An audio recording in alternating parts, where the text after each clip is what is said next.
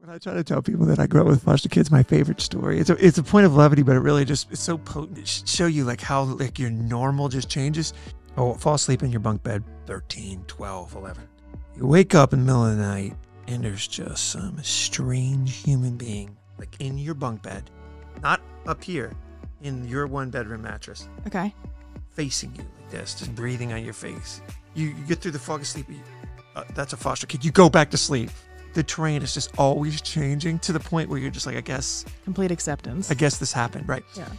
The gift my parents were able to give me and my biological siblings is perspective. The the earlier you can get your children to have perspective, the less they're going to be like punks and the, I think the easier those teenage narcissism years will be. All that stuff I think will be alleviated by like you take somebody to the third world, for example, you see poverty. Having natural empathy. Exactly. It young. It gives Okay. you like perspective.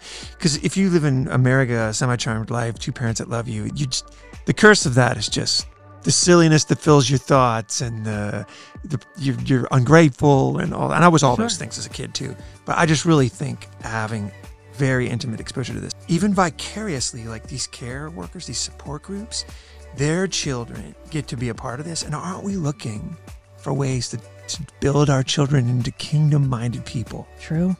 And it's almost like like one of the most beautiful things about this um, Keystone Alliance. It's like somebody comes to you as a believer, gives you a neatly organized, pack, bow packaged Yes. way of being true religion. Yes. Like here it is, easy. I do all the work for you. You just have to just like open it. Right.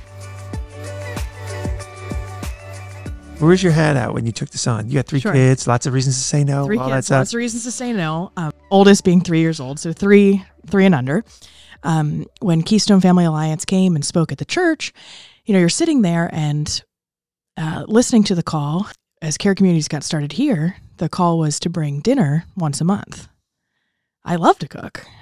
That felt extremely feasible. That I Right. could easily double double a meal that I'm going to feed my kids um, to give somebody else the opportunity to take a break. When I had our last one, um, Encounter stepped up and brought the us Oh, Meals first, but it made a massive difference, and we had not one bad meal. So that that was so impactful for us um, that I'm looking at this thinking, wow, these families that we get to support, a lot of these kids have lived through the some kind of trauma, and so it's not just running them to sports and having a little extra time to sit around the dinner table without having to cook. It's giving them time to have have conversations. It's a great way to look at it. to It's- just play as kids. It's creating bandwidth for the parent in a host of ways. Everything would be restoration with these kids. If you think about it, innocence has been broken, psychological damage has Mhm. obviously set in. Just like a restorative savior, you know, all of this is a, a long crawl to restoration in a child's life. But seeing your parents do it, or that your adopted parents or your foster parents, it's all like, you know, you, you can just dismiss it as like you signed up for this. You're the you're the punching bag. When you see like multiple people come alongside your life, it's very hard to write that off. You almost got to do business with that. Like you almost okay now everybody I guess isn't out to get me. Right. Everybody isn't going to hurt me, which is really what you're dealing with there. We're called to support the the widows and orphans, and though these children, most of them are not orphans, to some degree they are. And but how do you do that? How do you help? And how do you do it when you're like three kids, all that, right? Somebody yeah. says, "Here's a way to do it." I did all the hard work, all the heavy lifting. Excellent. Make some mac and cheese. And we got uh, when we got introduced to our, our foster family, um, all four of our families went into their home and we had pizza with them and the kids. We got to know them. We got to hear about food preferences. We got to meet the kids. Um, it was all of an hour, but we got to meet each other too. We got a group text that goes, um, you know, that we communicate. Um, when I get to drop off, um, I get, you know, it depends on the day, but oftentimes get to sit and have a nice half hour conversation if I want to. Um, other times I'm I'm running know. and you're like handing handing right through the door. Yeah, but right. it's also helping us um, meet people in the church. It's actually it's like most things with service. It's like you think the blessing is the recipient of it. But there's so much real potent blessing to the giver too. And that's like that's the beatitudes, isn't it? The kingdom is different than you think it is. One of the biggest um, goals and cries of my heart right now is to turn these two little boys into righteous young men that are salt and light and light up the dark. I mean, I want it more than I want them to be successful. I want it more than everything. But the reality is, is like we're Christians living in Babylon. That's what we are. Okay. We're li- like meaning everywhere I look, you know, very few people. We were just talking about the phones, you and I off camera. Yeah.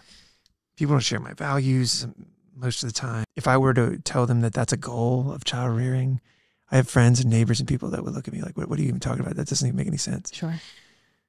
So I'm just saying that some somebody offering me a chance for my whole family to like practice true religion, gain perspective, gain empathy, understand that this is even something that people, children of light, do this. They inconvenience their lives and take in children that don't have all that. Um, I grew up on a street where um, my aunts and uncles lived down the road. So doors were never locked. There was never, um, they were also never knocked on. We just walked through the doors and got very comfortable with that.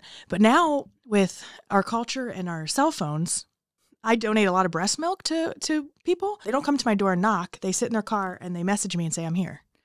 So I think there's this like fear of cooking someone a meal and having to go up to their door um, and and hand it off. But really, there's there can be as much interaction as as you prefer. I like that. You That's a really cool way to explain it. Yeah, but it it does stretch us. These are these are people you don't know, It does and stretch you're you. going to their home. I promise you one thing I've discovered. If you serve somebody tomorrow, you won't be depressed.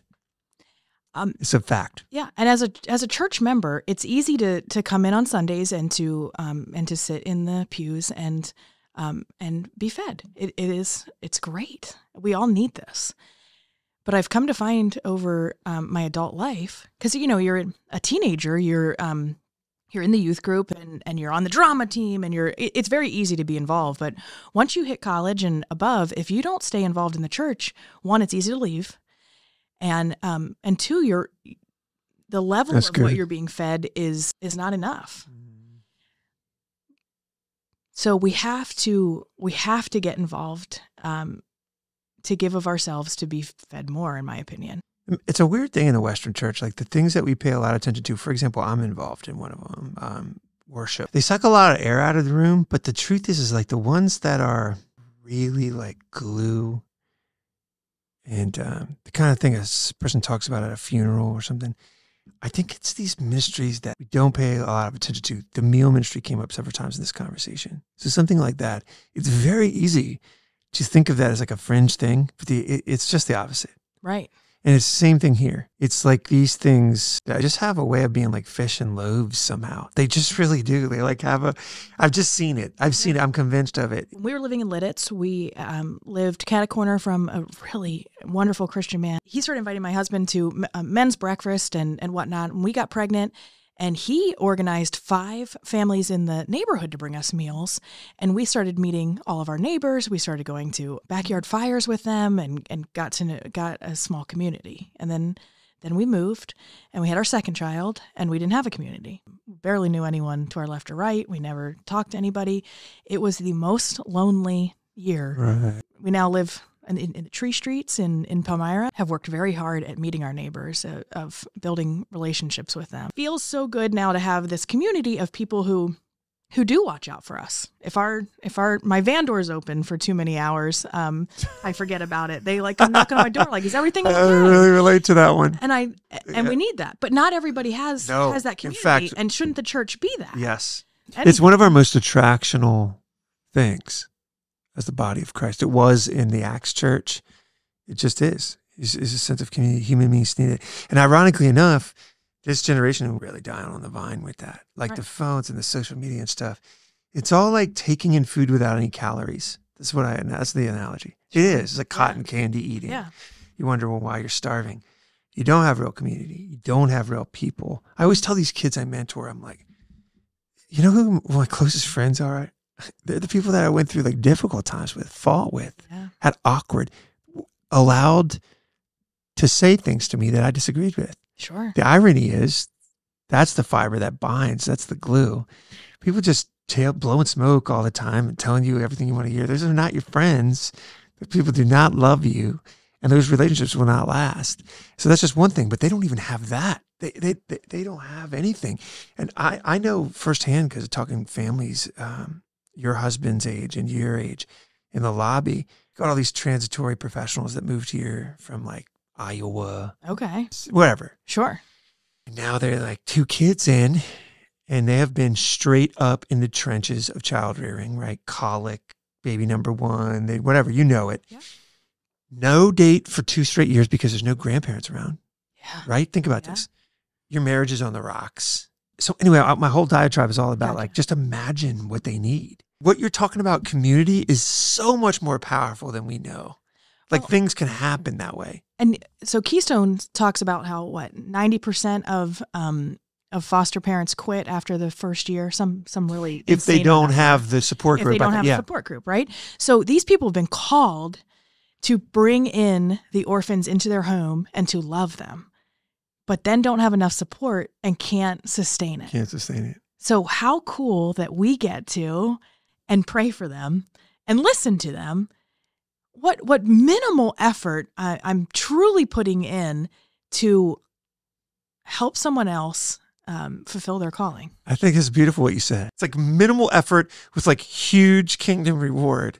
When you see a ministry like this kind of organically creep up, it's very encouraging because it's a sign of health. Yeah. It's like it's like a nice plump apple on the tree. So thank you for doing that. My family's going to do it. It's delightful having this conversation with you. I really really appreciated it.